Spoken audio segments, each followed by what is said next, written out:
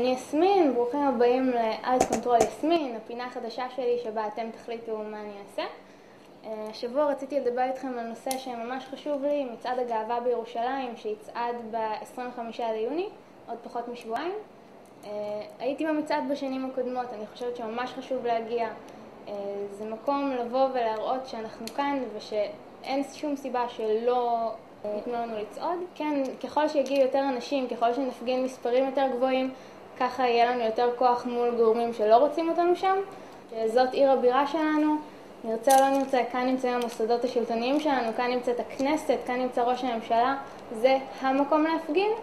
אה, כבודו של המצעד בתל אביב במקומו מונח, מסיבות זה כיף, אנשים ערומים זה כיף, אבל כאן זה משהו ש... אז כאן, זה, כאן זו הרחבה האמיתית להילחם על הזכויות שלנו. אה, אני רוצה להתייעץ איתכם לגבי הדרך הכי טובה לקדם את המצעד ולגרום ליותר אנשים להגיע. אופציה ראשונה, אני רוצה לצלם סרטון שבו אני אשכנע את אימא פרדיאן, אה, הומופובית מוצהרת, איראנית שגדלה באיראן עד גיל 19, להגיע ולתמוך במצעד הגאווה.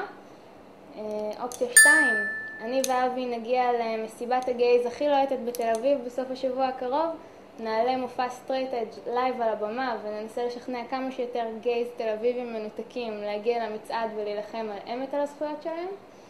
אה, והאופציה השלישית, אני ואבי נתחייב לנשיקה לוהטת לכל מי שיגיע בזכותנו ובזכות האתר זרוק.קום לאתר. אה, כל מי שיגיע ויזדהה באמצעות מברשת שיניים יכול לבחור מי ה straight edge המועדף עליו. אני מחכה לתגובות שלכם, להצבעות שלכם בסקר למטה, ותזכרו, מה שהרוב יחליט, אני אבצע.